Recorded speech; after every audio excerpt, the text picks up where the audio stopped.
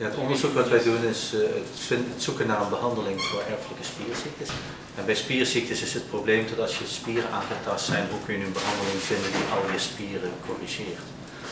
Uh, dat willen we doen door spiercellen van de patiënt zelf te gebruiken, die te corrigeren en dan in te brengen waarna ze naar de beschadigde spieren toe gaan. En we hebben een type cel ontdekt, de, de zoals dat dan chic heet. Dat zijn spierstamcellen die je in het bloed kunt injecteren, die gaan naar de foute spieren toe en die corrigeren dat waardoor je grotere spiermassa weer krijgt en dan kun je later weer trainen om ook die spierkracht terug te krijgen. Oké, wat we hier doen is we uh, krijgen een spierbeeld van een patiënt met een bepaalde uh, fout in het DNA. En dan uh, doen we hier op het lab het spierbioopt in stukjes hakken eigenlijk. En dan krijgen we uitgroeien van spierstamcellen die in die stukjes aanwezig zijn.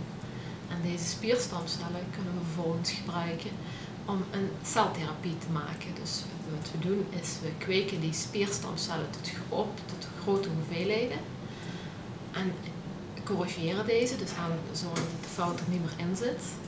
En dan zijn ze geschikt om teruggeplaatst te worden in de patiënt. Ja, zeldzame ziekte klinkt naar zeldzaam, uh, ja, hopeloos eigenlijk, maar je zou ook andersom kunnen zeggen. Zeldzaam hangt vaak samen met dat er een oorzaak is die met het erfelijk materiaal te maken heeft, dat het erfelijk is en meestal door één oorzaak komt. En die oorzaak hangt met een stofje samen en als we het stofje kennen, dan weet je hoe iets werkt. En als je weet hoe iets werkt, kun je het ook aanpakken. En dat is anders bij de meer veel voorkomende ziekten, waar we vaak geen idee hebben waar we moeten beginnen.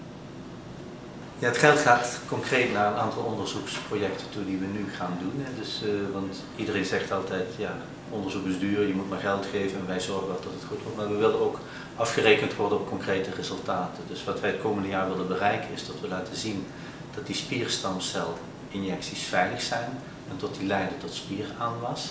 En dat we in staat zijn erfelijke fouten te corrigeren in die cellen, zodat we uiteindelijk ook echt de patiënt zijn eigen cellen gezond kunnen teruggeven. En we verwachten binnen 1 à 2 jaar dat punt bereikt te hebben. En dan komen we heel graag uitleggen bij jullie hoe we dat gedaan hebben en wat dat heeft opgeleverd.